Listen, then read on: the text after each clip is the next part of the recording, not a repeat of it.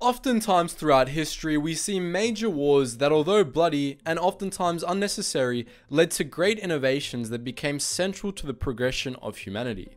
World War II was no different and led to key inventions such as radar technology, as well as major innovation in areas such as communication and aircraft optimization. That said, however, not all of these projects were created equal, and there are an innumerable amount of failed inventions that are buried by the sands of time. One of these, of course, was called the Death Ray or Kugo Ray, an ultimately doomed project that was taken very seriously by the Japanese until the war was over.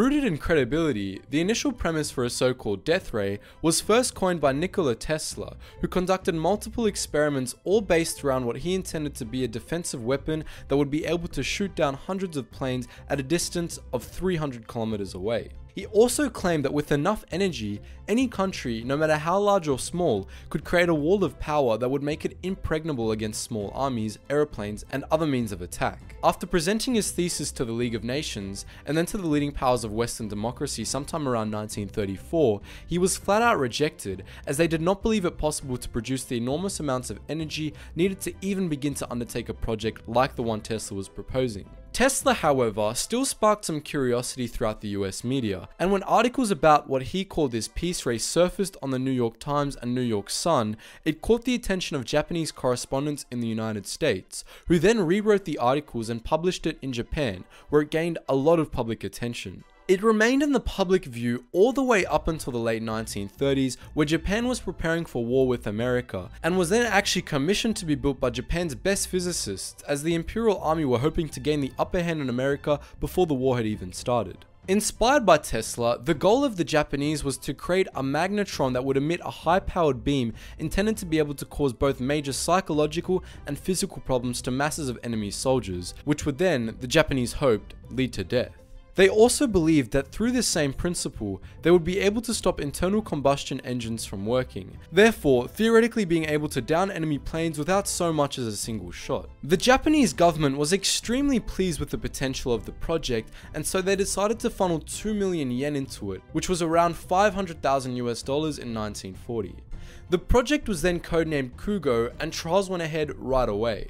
At first, their death ray experiments at a range of around 80 inches away was able to cause stationary rabbits, groundhogs and monkeys lung bleeding, and at a range any closer than that could destroy brain cells in animals. They also had minor successes with stopping exposed engines from working with the death ray. However, if the engine was even slightly protected by a hub of some sort, it wasn't able to penetrate. After five and a half years of trials and testing, the furthest the Japanese got was killing a rabbit in a cage after 10 minutes at a distance distance of 30 meters or 100 feet.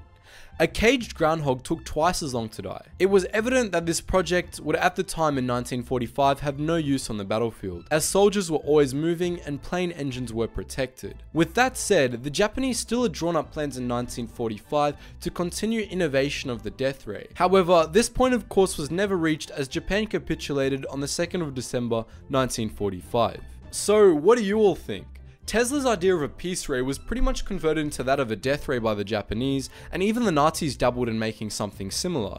However, most of the research was lost in the latter parts of the war. Do you think that with enough time this project could have ever developed into something big and replaced the nuke, or was it always doomed to flop?